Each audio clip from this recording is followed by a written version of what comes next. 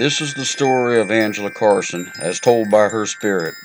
Now, I've never shared this story before with anyone, but this is how Angela Carson told me. Her family was traveling down the road when her drunken father lost control of the wheel and it rolled over, and Angela, who was not wearing a seatbelt, was flown out of the vehicle and crushed by the car.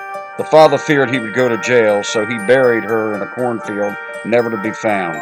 A few years ago, I was visiting the Harriet Tubman House. She was an African American abolitionist, human, humanitarian, and Union spy during the Civil War. I was driving down the road when I spotted a little girl on the side of the road and I asked her if she was lost. She said her daddy had wrecked the car and left her there. I asked her if she had any other family and she said her nana died last summer and she used to take care of me.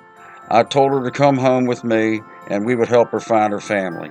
She did, and she played in my house for two days. I thought I should have reported to police, but I didn't think they'd believe me.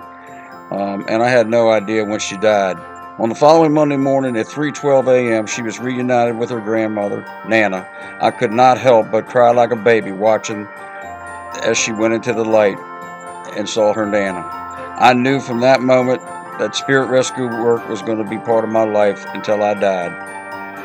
Uh, right now, I have three separate images of Angela Carson as she appeared at our spirit rescue event that is held in my home. The first image, Angela standing by our first aid station, where she volunteers to help spirits um, answer questions about going to the light. The second picture, sh she is descending from heaven to my home.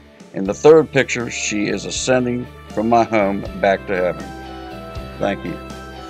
Enjoy the video.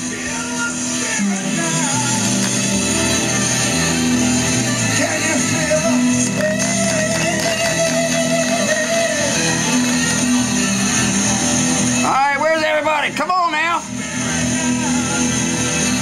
Let's see that spirit. There you go. There you go. Come on, everybody.